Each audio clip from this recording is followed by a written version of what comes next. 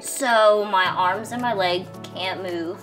They were all convinced that I was gonna pass away very, very early. I started watching TikToks. I was apprehensive, but then I was just like, I'm just gonna post it. I don't want people feeling bad that I'm disabled. I don't want people to cry because they see me or think I'm inspiring just for simply existing.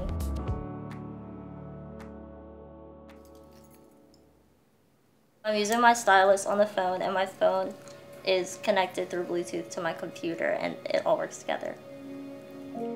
My name is Lauran, I'm 19 and I have arthrogryposis. Basically, it means that I have contracture joints and no skeletal muscle below my neck. So my arms and my leg can't move. Um, I can't, like I can't walk. I can't write. I can do basically everything with my mouth or like my chin. I need help with everything. Like, if I want to get out of bed, I need help. If I want to get dressed, I need help. I took a shower this morning, someone had to help me. And most times, it's either my grandma or my mom. Actually, 100% of the time, it's my grandma or my mom. Six weeks before she was born, they realized that she wasn't moving. Her heartbeat was strong, but she wasn't moving. She struggled after she was born. They were all convinced that I was going to pass away very, very early first. We were given the diagnosis of maybe six months. It just set a, everybody into a depression. Mom and dad just were so fearful. After she was born, when she was off of the ventilator, I looked in her eyes and she was so alert. And I'm like, you show them what you got. I'm a sophomore in college right now. Um, I'm studying mass communications and I'm gonna get a minor in social media. Ever since I was like little, like probably 14, I wanted to like do social media. Like I just always knew I wanted to do that. So I started making YouTube videos really as a joke. And then they kind of did a, a little bit well. They would get like 250 views. But then TikTok came out and I was like, I want to post TikToks. And then one of them blew up and got like a million likes. And now I have like 42,000 followers a lot of people will like message me and be like, thank you for like joking about this because it makes me feel better about my disability. I started posting videos in February of this year. Mostly I try to be funny. One time somebody called me a vegetable. This person was like, can you even reproduce? And I was basically like, first of all, that's rude and offensive. Second of all, who are you to ask me that? And third of all, even if I can't, why should I care? You know what I mean?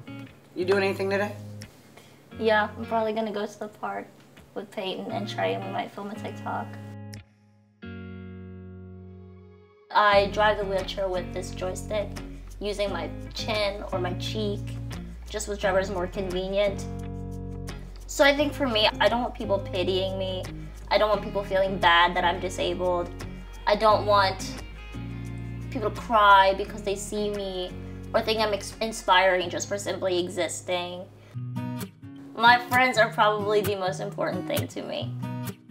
My favorite thing about Lauran is she she pushes me outside of my comfort zone a lot. She's really grown into herself and not really relied on what other people say or think and just kind of going with her own feelings, her own gut.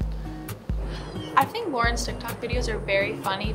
She's very inspiring. She's very true to herself. I'm very proud that she's doing so well with TikTok and her YouTube and everything like that. So I'm really glad that she took the leap of faith and went ahead and did it because it's working out for her. It's four minutes in. Yeah. Can I show you I'm surprised I got the timing as well as I did. Yeah, wait, can we redo it? I look bad. What? Can you redo oh, it? I look oh, terrible. I look so gross. Alright, this is your last seat.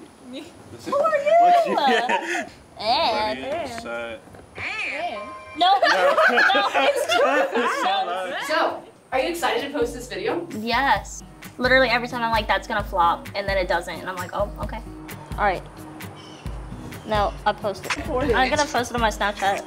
I guess I want people to know that if they are also disabled, like that's okay. They don't need to feel bad about it. They aren't an inconvenience to their parents. People love them regardless. I think using my platform to help others with disabilities feel like they can have a voice too, and it's okay to just step out of your comfort zone and do things.